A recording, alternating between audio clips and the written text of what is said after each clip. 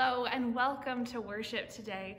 No matter where you are or what you're doing, you are welcome here. A few announcements for today. Um, uh, Ash Wednesday is this coming Wednesday, February 17th. So that will be an online service available on um, our website, Facebook, and our YouTube pages. And we have ashes in individual containers that you can pick up. They'll be outside uh, the door by the office um, for you to pick up anytime before uh, our service is on Wednesday.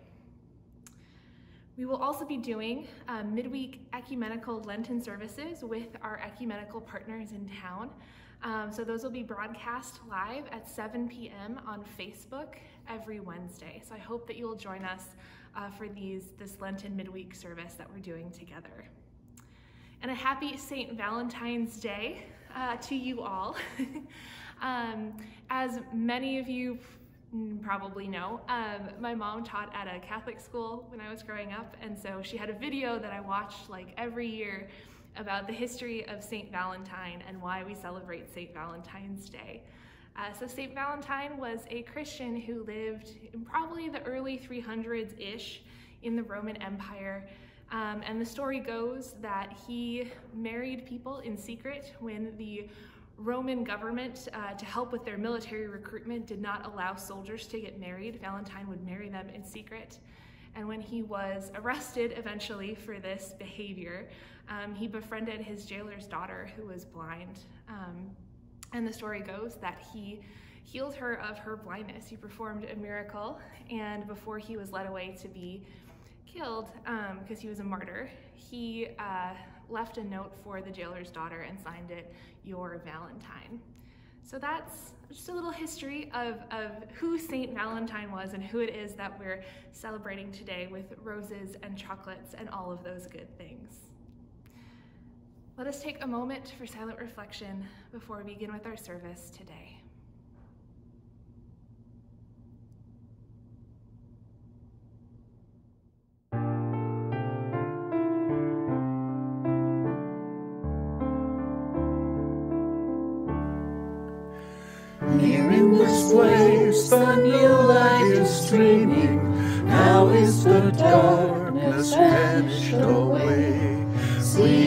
This our fears and our dreamings, brought here to you in the light of the day.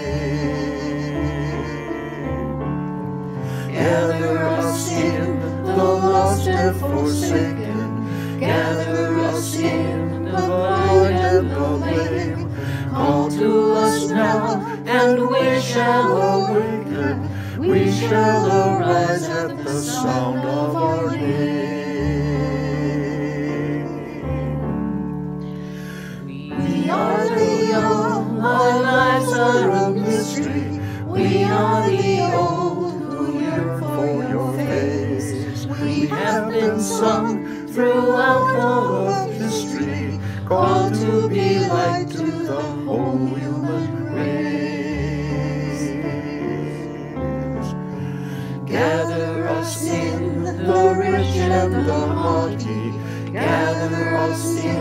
In, the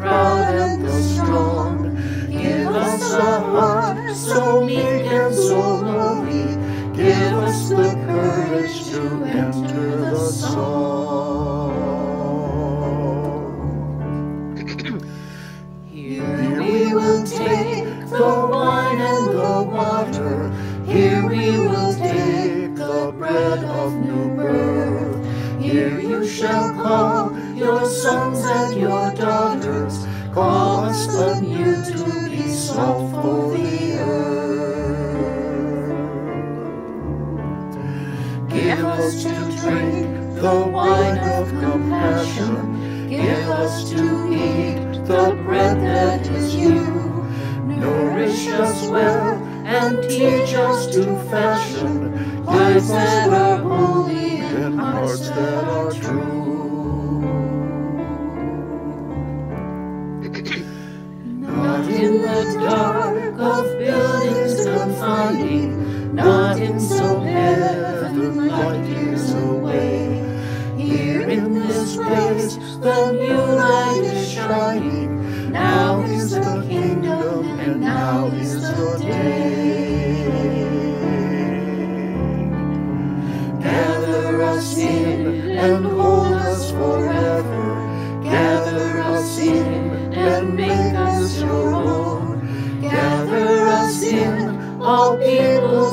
together. Fire of love in our flesh and our bone.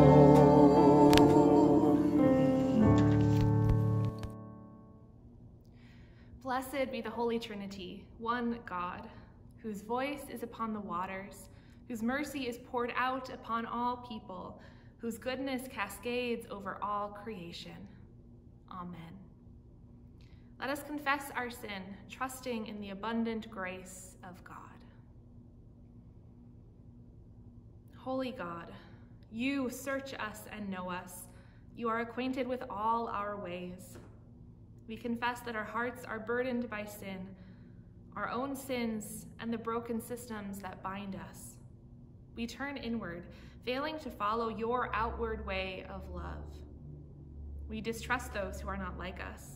We exploit the earth and its resources and fail to consider generations to come. Forgive us, gracious God, for all that we have done and left undone. Even before the words are on our tongues, you know them. Receive them in your divine mercy. Amen.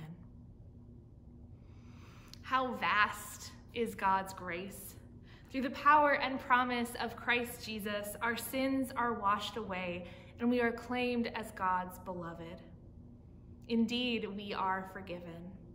In the wake of God's forgiveness, we are called to be the beloved community, living out Christ's justice and the Spirit's reconciling peace. Amen. The grace of our Lord Jesus Christ, the love of God, and the communion of the Holy Spirit be with you all. Let us pray together the prayer of the day.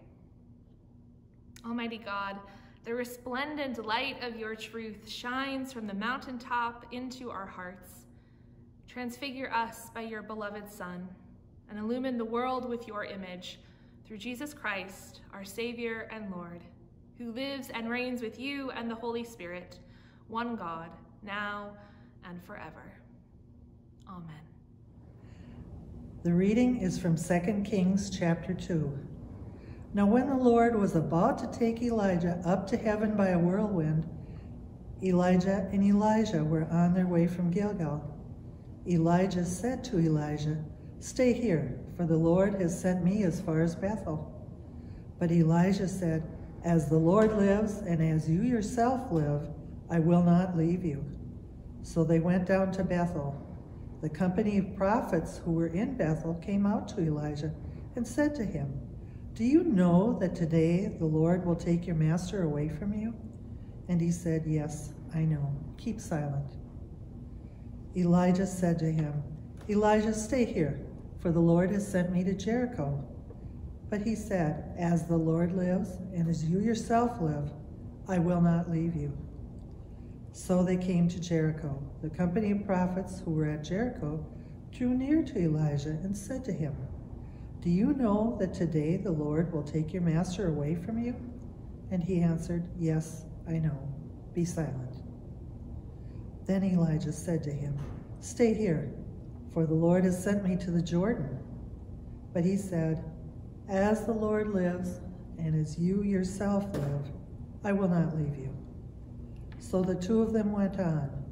Fifty men of the company of prophets also went, and stood at some distance from them as they both were standing by the Jordan. Then Elijah took his mantle, rolled it up, and struck the water. The water was parted to the one side and to the other, until the two of them crossed on dry ground. When they had crossed, Elijah said to Elisha, Tell me what I may do for you before I am taken from you. Elisha said, Please let me inherit a double share of your spirit. He responded, You have asked a hard thing. Yet, if you see me as I am being taken from you, it will be granted you. If not, it will not. As they continued walking and talking, A chariot of fire and horses of fire separated the two of them, and Elijah ascended in a whirlwind into heaven. Elisha kept watching and crying out, Father, Father, the chariots of Israel and its horsemen. But when he could no longer see him, he grasped his own clothes and tore them in two pieces. Our gospel reading today comes from the Gospel according to Mark, the ninth chapter. Six days later, Jesus took with him Peter and James and John and led them up high a mountain, up a high mountain apart by themselves. And Jesus was transfigured before them, and his clothes became dazzling white, such as no one on earth could bleach them. And there appeared to them Elijah with Moses, who were talking with Jesus. Then Peter said to Jesus, Rabbi, it is good for us to be here. Let us make three dwellings, one for you, one for Moses, and one for Elijah. He did not know what to say, for they were terrified. Then a cloud overshadowed them, and from the cloud there came a voice This is my son, the beloved. Listen to him. Suddenly, when they looked around, they saw no one with them anymore, but only Jesus. As they were coming down the mountain, Jesus ordered them to tell no one about what they had seen until the Son of Man had risen from the dead. The Gospel of the Lord. Praise to you, O Christ.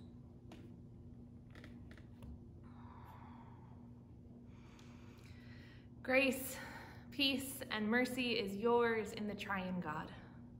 Amen. We don't talk about Elijah that much. He was arguably the greatest prophet in the history of Israel, and his story is told in the book of Kings. But the story today isn't really about Elijah anyway. Sure, he's the one that gets taken up to heaven in a chariot of fire, but the story is really about his friend, his disciple, and mentee, Elisha. Elisha knows what's about to happen, and when others try to tell him, his response is less than gracious.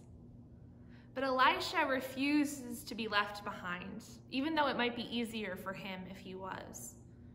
Elisha is going to stick with Elijah until the very end. And Elisha gets to see the glory of God coming out of the heavens with a chariot and horses of fire, with a whirlwind, whirlwind that takes Elijah from him. And Elisha's response to seeing this miraculous act of God is grief. Elisha knew this was a point of no return. He was stepping into a new world without a lot of certainties or guarantees. So Elisha tears his clothes at an ancient sign of mourning and grief. It is only after he has felt all of his feelings that he is able to get back up and go into town, stepping forward into whatever future God has planned for him. When Jesus appears transformed in front of his disciples, standing with Elijah and Moses, the two most important figures in Jewish history, the disciples are not overjoyed. They're terrified.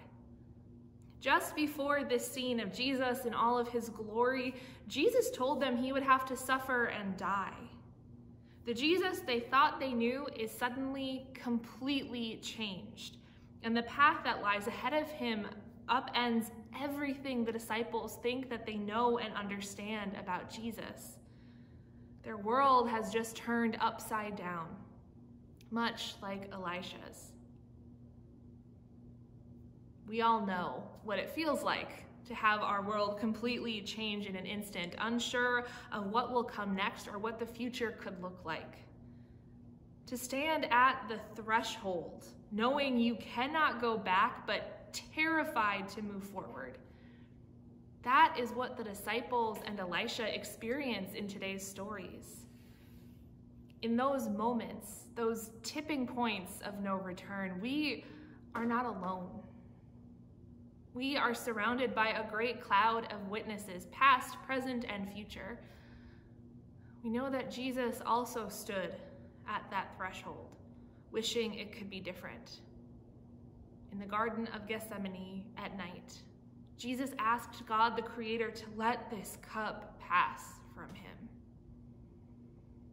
So many of us have been taught to not experience fear or sadness or anxiety, that we're supposed to manage other people's emotions and not have any ourselves, or that showing any emotion at all is weakness and must be avoided at all costs.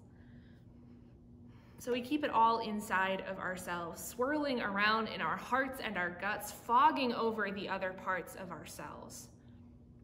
We've internalized messages of how we're supposed to feel and act as though we are automatons going through the motions of life. But our feelings and emotions are an integral part of us, a God given part of us. God is not embarrassed by our tears or sobs that are wrenched out of our chest. God does not think that we are being extra for being excited or deeply angered. This Wednesday, we enter the season of Lent, a season of reflection and repentance, a season that strips away the layers of armor and numbing we use to protect ourselves from feeling too deeply and from judgment. Lent is an invitation to look within us and acknowledge what has been hidden and covered over, even from ourselves. This Lenten journey can be uncomfortable and raw. But we do not go through this journey alone. Elisha got up and went into town, surrounded by God and the community around him. The disciples still had time with Jesus to cherish and wonder. So may we feel and remember the God who wept over his friend Lazarus and who turned over tables in the temple in anger as we journey together into a new future. Amen. Together, let us confess our faith using the words of the Apostles' Creed. I believe in God, the Father Almighty, creator of heaven and earth. I believe in Jesus Christ, God's only Son, our Lord, who was conceived by the Holy Spirit, born of the Virgin Mary suffered under Pontius Pilate, was crucified, died, and was buried. He descended into hell. On the third day, he, he, rose again. He ascended into heaven. He is seated at the right hand of the Father, and he will come to judge the living and the dead. I believe in the Holy Spirit, the holy Catholic Church, the communion of saints, the forgiveness of sins, the resurrection of the body, and the life everlasting. Amen. Prayers of intercession. On this last Sunday after Epiphany, let us offer our prayers for the church, the world, and all people in need, responding to each petition with the phrase, Alleluia, Amen. O God of light, we pray for communities of faith around the globe, for our own congregation, and for all Christians who cannot gather for communal worship. Show us your face in the darkness. Spread your word of power to all the faithful. Hear our prayer, O God. Alleluia. Amen.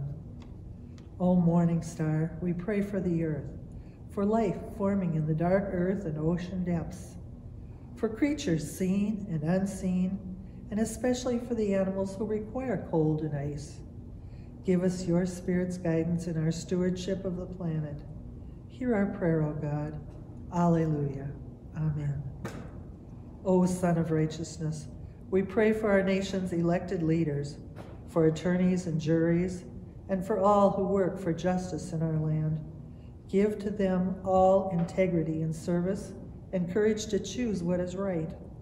We pray for our citizenry, that prejudice cease, that resentment wane, and that violence be averted. Hear our prayer, O God.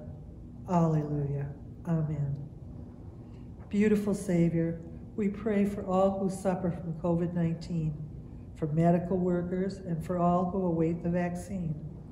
We pray for those enduring famine, for those experiencing homelessness, for the people of Yemen, and for all who live in war zones. We pray for all who are ill, for all who receive no medical care, and for those we name here before you, especially Ralph Abbey. Heal them with your loving might. Hear our prayer, O God. Amen. Alleluia. Love divine, we pray for those who, especially on this Valentine's Day, feel lonely, for those who are abandoned, and for those who must live apart from their dear ones, especially for the children separated from their parents at our nation's border. Embrace all who are alone with your care. Hear our prayer, O God. Alleluia. Amen. O Holy Trinity, light creator, light of light begotten, and light revealer, receive our praise and hear our prayers for the sake of the one who dwells among us, Jesus Christ, our Savior and Lord. Amen. Gathered into one by the Holy Spirit, let us pray as Jesus taught us. Our Father, who art in heaven, hallowed be thy name. Thy kingdom come, thy will be done, on earth as it is in heaven. Give us this day our daily bread, and forgive us our trespasses, as we forgive those who trespass against us. And lead us not into temptation, but deliver us from evil. For thine is the kingdom, and the power, and the glory, forever and ever. Amen. God, the Creator, strengthen you. Jesus, the Beloved, fill you. And the Holy Spirit, the Comforter, keep you in peace. Amen.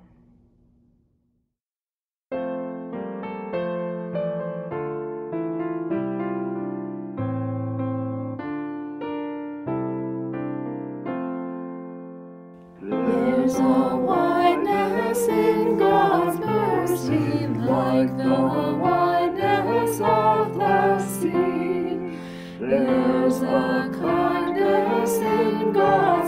God's